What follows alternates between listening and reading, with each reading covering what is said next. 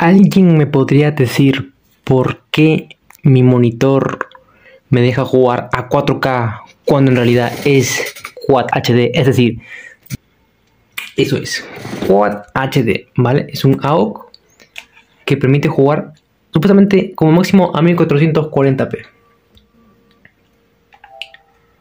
¿Por qué aquí me deja activar 4K?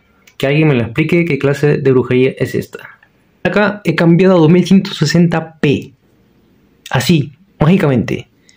Incluso he probado videos con YouTube y me deja ver videos a 4K 60 frames por segundo. Mm, algo bastante extraño, la verdad.